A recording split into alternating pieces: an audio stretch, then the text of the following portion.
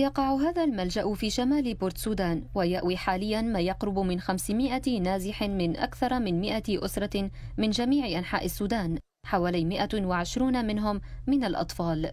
لا يعاني هؤلاء الأطفال النازحين من ظروف معيشية صعبة فحسب بل فقدوا أيضا فرصة تلقي التعليم. تعاون بعض الطلاب من جامعة البحر الأحمر في بورت سودان مع متطوعين محليين لإقامة فصل دراسي بسيط في خيمة في الملجأ لتعليم الأطفال اللغة العربية والإنجليزية والقراءة والرياضيات وغيرها من المواد وتحفيز اهتمامهم بالتعلم من خلال الألعاب واللوحات وغيرها من الأساليب. لمدة ساعتين إلى ثلاث ساعات يوميا لخمسة أيام في الأسبوع.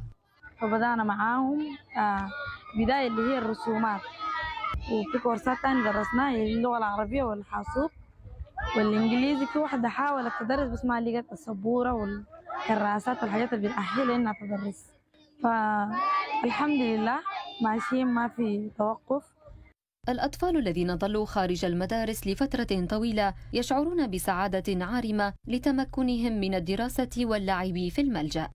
وتعلمنا نقرأ القصص ونستهج الحروف ونقرأ ويعني عندنا نشاطات مختلفة وناس أساتذتنا بيقرونا لنا حاجة أكتر حاجة بتعجبني لما أنا وصحباتي قريت قصص الأطفال أكتر شيء وعجبتني وكانت حلوة شديد.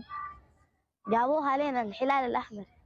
يقوم المتطوعون من وقت لآخر بتنظيم عروض ترفيهية للأطفال النازحين بما يشمل قراءة القصص ومسابقات الغناء والعروض المسرحية وغيرها. ويعد هذا أيضا نشاطا مفضلا للعديد من الأطفال.